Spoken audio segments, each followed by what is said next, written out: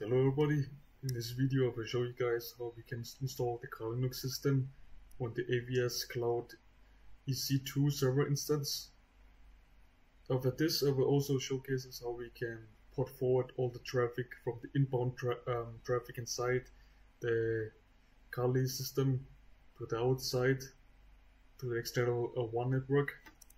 And after this I will also um, configure the beef XSS over one over the cloud basically.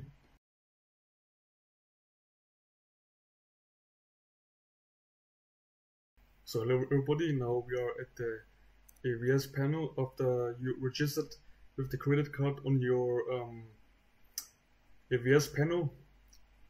So you need the email and also a credit card to get a free tier, or also of course you know pay paid monthly also here we can select the regions. So I've selected Asia Pacific Seoul in Korea, but you guys can also select something else.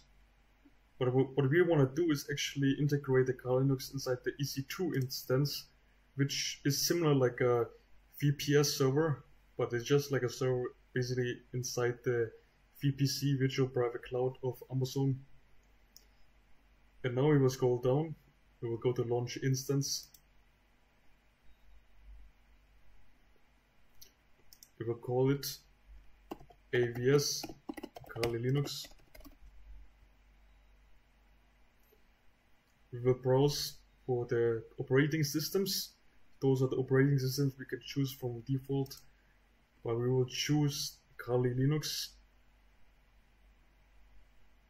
So we will go to the AWS Marketplace here. It's gonna take a time to load. Kali Linux inside. You select this one. And you guys uh, need to click on subscribe now.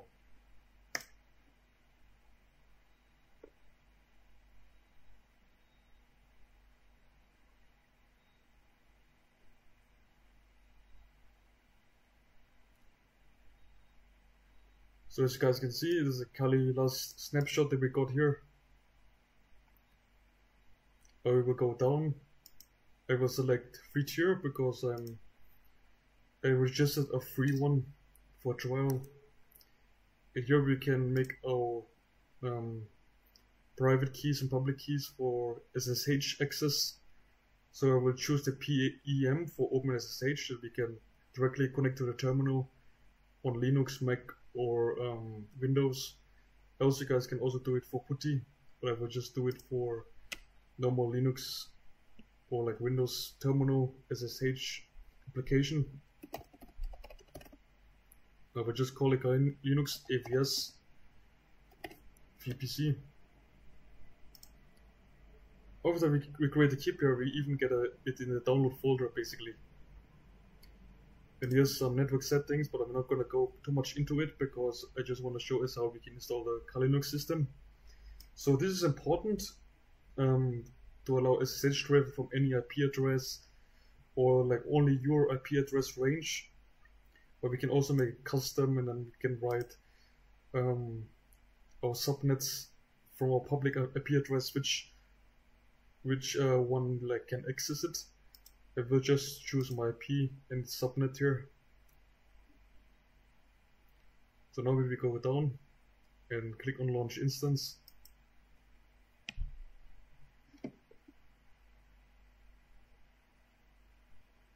Now we need to wait until it will get ready to be launched. So now we will click on this one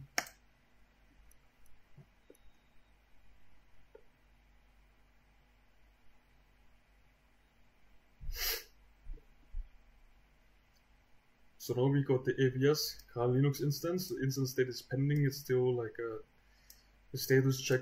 It still need to be done. As you guys can see here, there's the public IPv4 address, the DNS server, availability zone, and then some other information that we got here with the key name. So we can refresh this one and we see the state.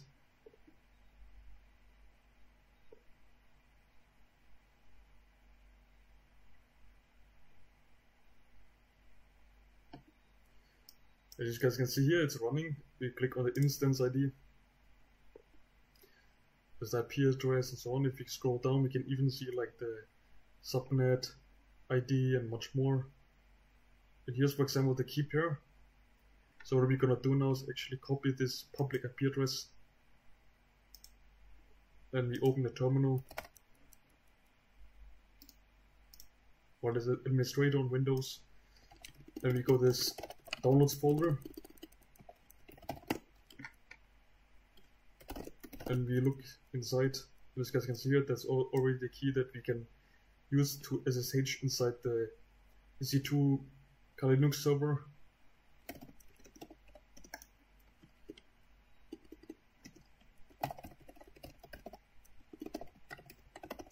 we write the hostname as Kali, IP address like this, we just hit enter.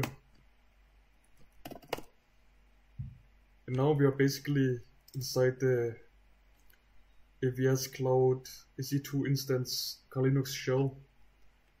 Who am I? We can write, for example, Kali.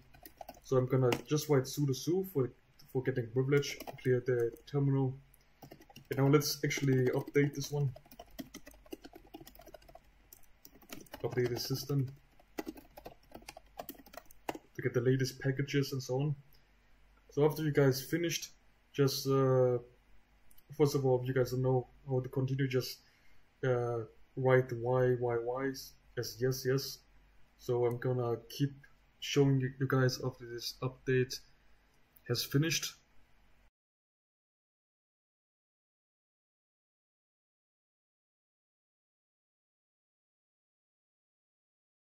Right after we finished the update, let's install Apache 2 web service and also beef XSS as we will be making um, them go for once.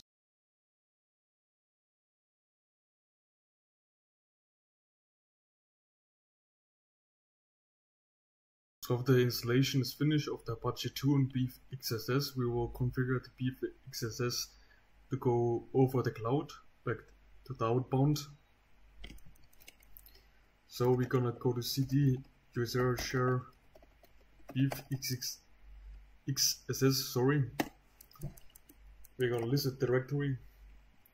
We're gonna nano to the config jump file. Here we can also configure a password that we need to log in so I'm gonna make it to just easy low one two three four five. You guys can make a better password. You leave the host here. So we need to go down.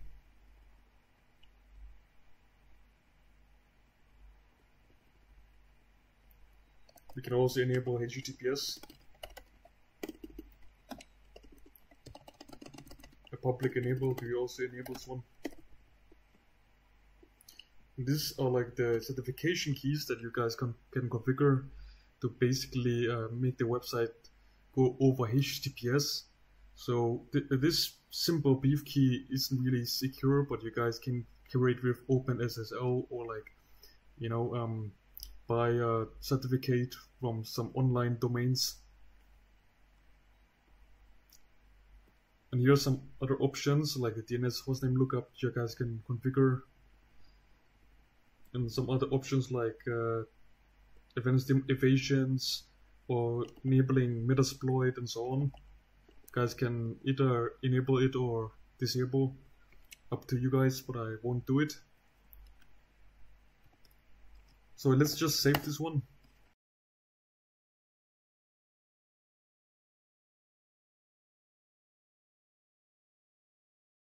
So in this clip we will try to pull forward all the traffic for Beef XSS and also with Apache 2. So first of all we will write security group here for the inbound outbound information. We click on the EC2 future security groups. We go on Kali Linux here and we scroll down, edit inbound rules. We add about like uh, one, two, three, four, five options.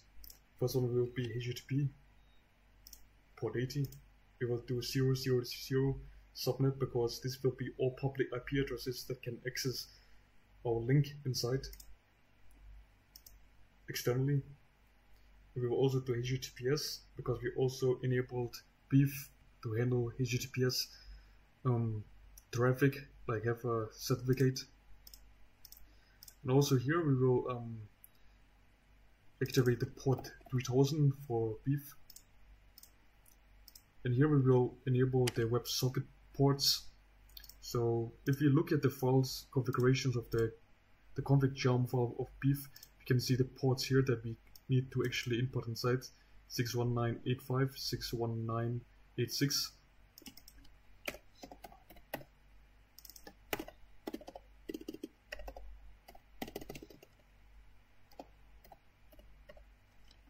Oh, sorry.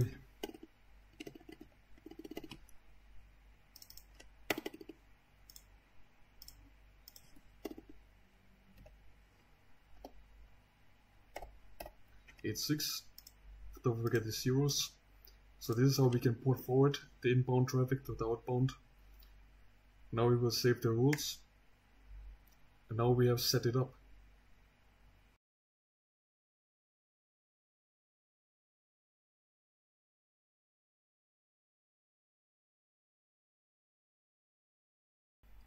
So let's see if we can run the beef um, application and let it uh, make it run on the one.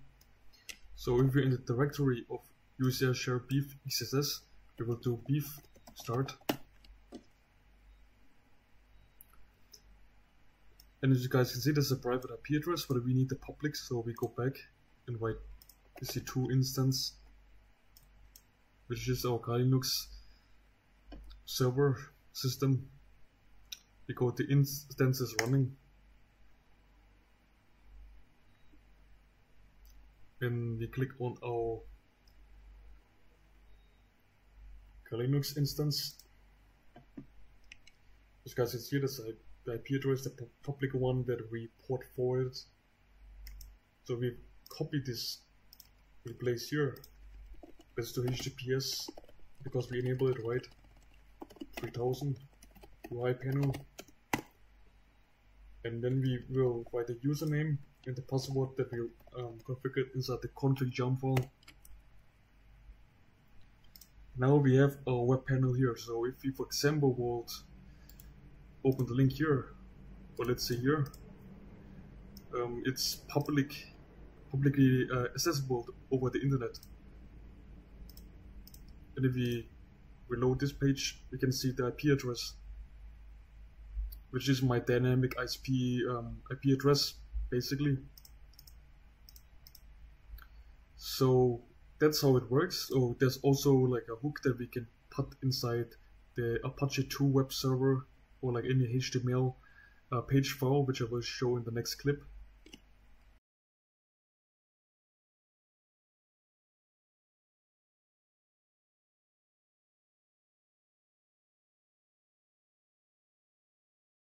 Beef XSS instance show the Linux system works. We don't disable it, we don't see cdrc, so we keep this terminal open.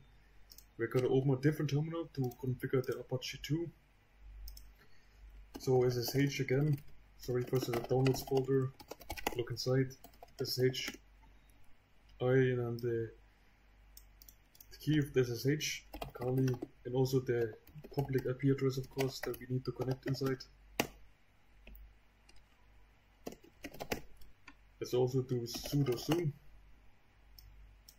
Let's make this bigger. And now we will go to the directory of the Apache 2, provide nano, nano index HTML.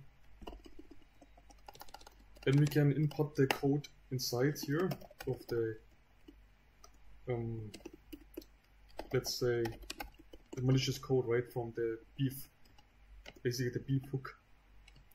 So we write the source HTTPS and then we will write the public IP address. As you can see up there in the link 6162 port 3000 of course. And then we will uh, do hook javascript. And then we will hit ctrl x and yes to save and enter to write clear this. Let's try the service service apache 2 let's try to start this. As we know we forwarded the traffic port 80 which is which is a http okay now if we for example take a public ip address from the ec2 instance and we place this inside here we have the apache um, website basically. If we for example refresh the browser of the beef we also get a beef hook on the victim as you guys can see here.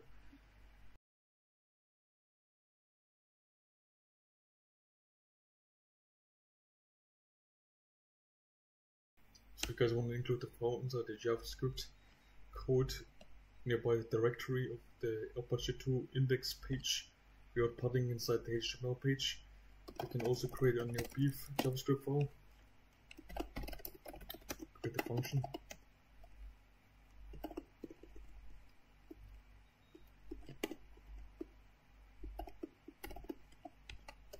Close it up.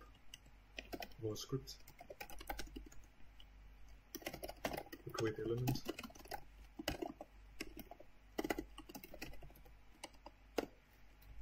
Then we will create the source.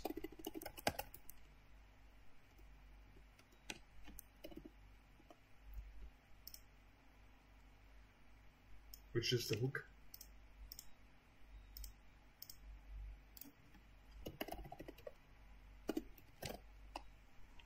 So close this one up, and this one as well and then we will append it on the head of the index page, HTML page. We can also do body inside here or anything inside the HTML page. Make it a bit like this, close it up, Ctrl X, Y, enter, now we got this file, now we're gonna go to the index page. Uh, the index page we need to also include it as a source file.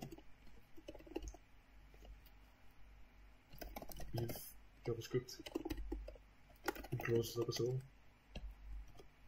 Ctrl X, Y, enter again. Now we will do service Apache 2, reload, service Apache 2 restart. And now if we go to this, we try to go to the HTTP page hosted by Apache, which lo loads the JavaScript malicious code from the directory. So let's go look and reload. We got the victim as well, so it's loaded from JavaScript file code basically, and uh, we don't need to put it inside the HTML page. Pretty simple.